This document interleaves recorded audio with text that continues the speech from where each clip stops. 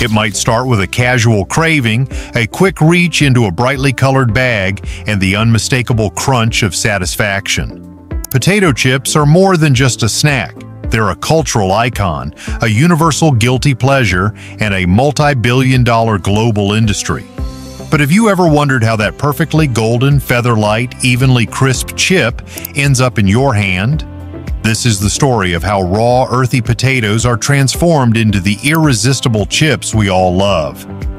It happens fast, with machines that slice in milliseconds, fryers that reach blazing heat, and factories where every single chip is scanned, seasoned, and sealed with scientific precision. From soil to supermarket shelf, this is how potato chips are made. Chapter 1 Harvest to Factory The Perfect Potato the journey begins long before the factory floor in acres of farmland where specialized potatoes are cultivated specifically for chip production. Varieties like Lady Rosetta, Atlantic, or Russet Burbank are bred for their high starch and low sugar content, ideal for producing crisp, non-soggy chips that don't brown too quickly. Timing is everything. Once harvested, these potatoes are transported to the factory within hours to preserve freshness and reduce sugar buildup. As massive trucks pull in, the potatoes are offloaded onto a vibrating conveyor system. These belts agitate the load just enough to allow dirt and small debris to fall away before the real cleaning begins.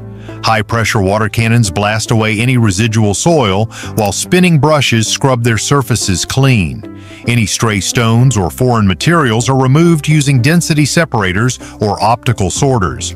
What remains is a clean batch of uniform, high-quality potatoes ready for transformation. Chapter 2 Precision, Peeling and Inspection Next, the freshly washed potatoes are ushered into the peeling zone. There are two main methods of peeling in industrial production. Abrasive peelers use high-friction rollers to rub away the skin, while steam peelers use short bursts of superheated steam to separate the skin from the flesh. The latter is more efficient and reduces waste, which is important when you're processing thousands of kilos per hour. After peeling, the potatoes are sent through a final inspection stage where automated vision systems scan for green spots, bruises, or defects.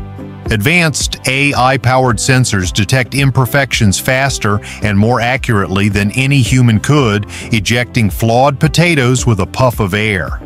This ensures that only pristine potatoes move on to the slicing stage. Chapter 3 Slicing in Milliseconds This is where the transformation truly begins. Each potato is funneled into a centrifugal slicing machine equipped with ultra-sharp rotating blades.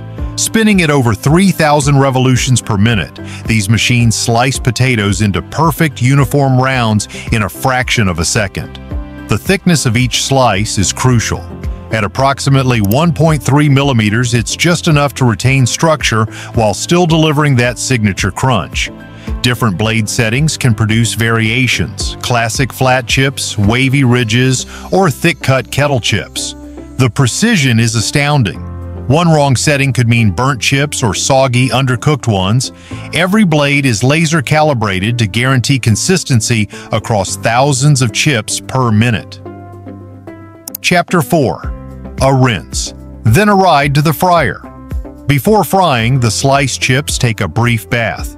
This rinse stage removes excess surface starch, which could cause clumping or off colors during frying. The slices then pass through powerful air knives or centrifugal dewatering systems that remove moisture and prepare them for the oil. Now comes the heart of the process. The fryer. Long conveyor belts carry the potato slices into vats of hot oil, usually sunflower, canola, or corn oil, kept at a precise 170 to 190 degrees Celsius. The chips sizzle and bubble as moisture escapes and they begin to puff slightly, turning golden. The timing is precisely controlled, just around 3 minutes per batch. Sensors continuously monitor oil temperature, chip color, and cooking time. If anything is out of spec, automated systems make real-time adjustments to keep every chip perfect. This is where the crunch is born. Chapter 5 Seasoning with Scientific Precision As the chips exit the fryer, they are hot, golden, and glistening. They immediately move to an incline belt which drains excess oil and cools them slightly. From here, they enter the seasoning drum, a large rotating cylinder where flavor is added. Whether it's classic sea salt, tangy barbecue, sour cream and onion, or spicy jalapeno, the seasoning is applied in precisely measured quantities. Automated dispensers spray or dust the chips while they tumble inside the drum, ensuring even coverage.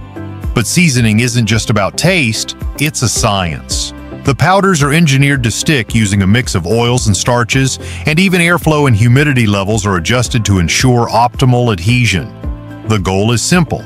Every chip in every bag should taste exactly the same. Chapter 6. Quality Control and Inspection. At this stage, every chip has been fried and flavored, but not all make the final cut. High-speed vision systems scan for overcooked chips, folded edges, or foreign objects. Defective chips are instantly blown off the conveyor using targeted jets of air. Sample batches are pulled hourly for lab testing, where technicians measure oil content, crunch factor, seasoning distribution, and even color values using colorimeters. Chips that don't meet the standard never reach the bagging line. Only those that pass every test move forward. Chapter 7 Packaging the Crunch Now it's time to seal in the crunch. Weighed portions of chips are dropped into open foil bags using vertical form-fill seal machines. These bags aren't just containers, they're scientifically designed barriers. Just before sealing, nitrogen gas is flushed into the bag. This inert gas displaces oxygen, preventing oxidation and spoilage. It also cushions the chips during transport, protecting them from breaking. The bags are heat sealed in milliseconds, stamped with a batch number and expiration date, and dropped into cartons. Within minutes, hundreds of bags are ready for distribution. Chapter 8 Global Distribution of a Snack Sensation From the packaging room, pallets of potato chips head to massive distribution centers. There, they are scanned, sorted, and dispatched to destinations across the world. Some will appear in supermarket aisles, others in vending machines, gas stations, or school cafeterias. In less than 48 hours, a potato that was in the ground can be on a shelf, crisp and ready to eat. With factories operating around the clock, millions of bags are produced daily. Yet each one is held to the same gold standard of taste, texture, and quality. So the next time you reach into a bag of chips, remember, what seems like a casual snack is actually the result of years of agricultural planning, food science, and mechanical engineering. From precision slicing and high-speed frying to automated seasoning and nitrogen-flushed bags, each chip carries the story of a factory that never sleeps. If you enjoyed this deep dive into the factory where flavor meets technology, be sure to hit that like button and subscribe. We bring you inside the machines that make your world work. Got a favorite snack or product you'd love us to explore next? Leave a comment below. Until next time, stay curious and stay crunchy.